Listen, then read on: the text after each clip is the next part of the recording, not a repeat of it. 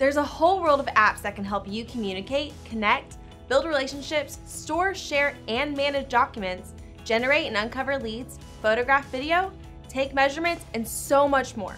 In short, they make your job easier. And if they don't cover something you need right now, they will soon.